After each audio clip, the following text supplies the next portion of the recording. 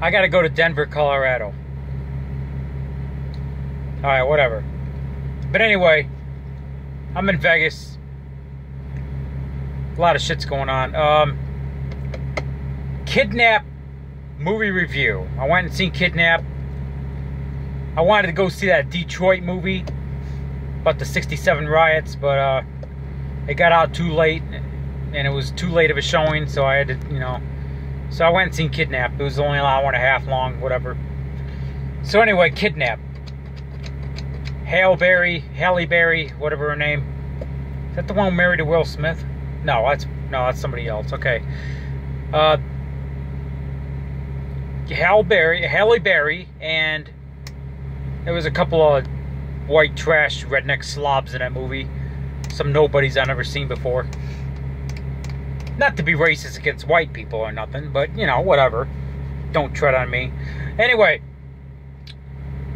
it's about a kid that gets kidnapped. That mysterious person in a Mustang.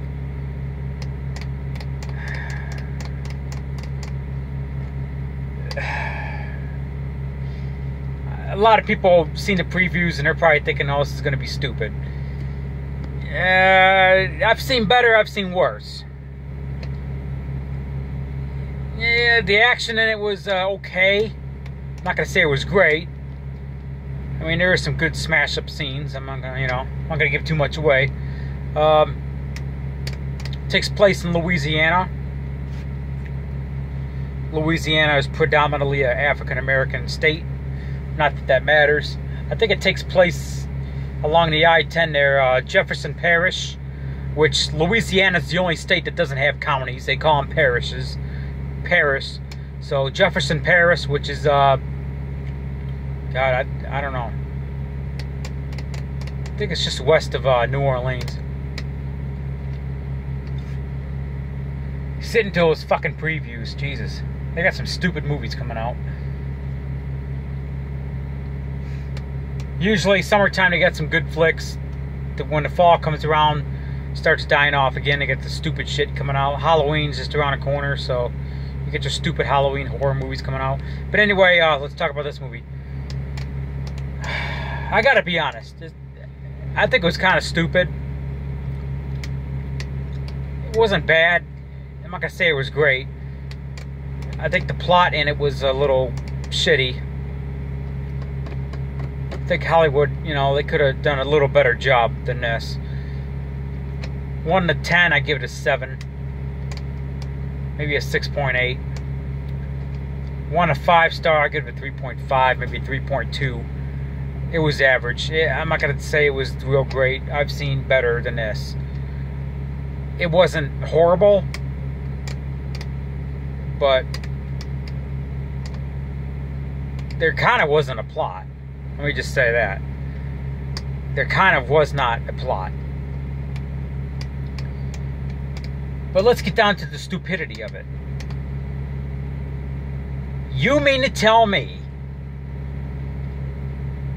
that a fucking Mustang can out outrun a fucking V6 caravan? Come on, think logically here. She's chasing after this fucking Mustang in a fucking van. Does Hollywood think they're that fucking stupid? But then you gotta think. It was a newer van, so the van's engine was more powerful than other vans they made in the past. And you gotta think it was an 80s, whatever, it, Mustang. It wasn't a Cobra Mustang. It was one of the shitty Mustangs they made back in like the back in like the early 80s. They made a shitty for like a couple of years they made a shitty brand of Mustang and that's what kind it was. It looked like looked like an '84 Mustang, the shitty kind. It wasn't a Cobra or nothing like that. So I don't think it had a real powerful engine. I mean, I, I don't even think the engine was a V8. So, so logically, that's a possibility that this van could catch up with this fucking Mustang. But come on, man. I'm not gonna give too much away, but the way that you know the van kept catching up to the Mustang, it almost like the Mustang wanted to for them to follow him or something. But I'm not gonna give too much away. Other than that, it, it's not a great movie. I'm gonna be honest. I've seen a lot better.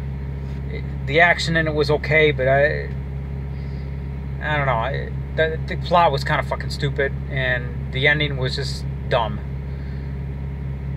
I mean, it, the ending wasn't. I'm not gonna say dumb, but kind of you know just blah. Like, like I sat through an hour and a half a movie for this and kind of ending. I mean, I don't know. I, kind of feel like I wasted my thirteen dollars. 13 fucking dollars in Vegas to go see a fucking movie. You believe that shit?